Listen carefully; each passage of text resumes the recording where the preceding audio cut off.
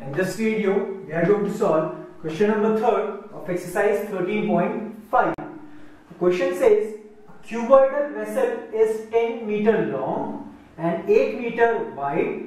How high must it be made to hold 380 meter cube of a liquid?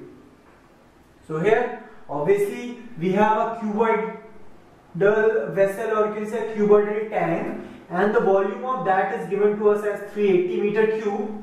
The length is given to us the breadth is given to us. We have to find its height or you can say its depth. So volume of a cuboidal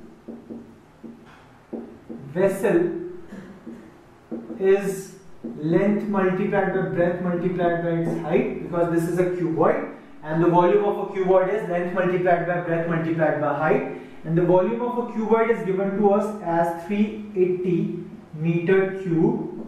Length is given to us as 10 meters. Breadth as 8 and we have to find its height. Now I have to find its height it is 10 meters and 8 meters. So obviously if you if you if I have to find the height I have to shift these constant to the left hand side. So here it is multiplying with h. So here it should divide. So this can be cancelled with this 0 now this can be cancelled with 2 this is 4 times.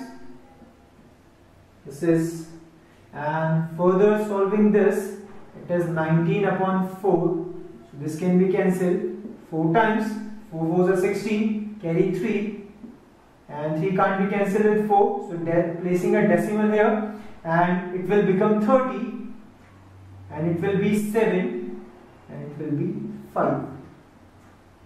So 4.75 meters should be its height so that it can hold 380 meter cube of liquid. So this is how you can solve this solve this particular question. I hope you have understood this one. If you like this video, please subscribe to our channel. And if you have any problem in maths, you can directly contact us. The phone number, the email address and the WhatsApp number is given below in the description. Thank you.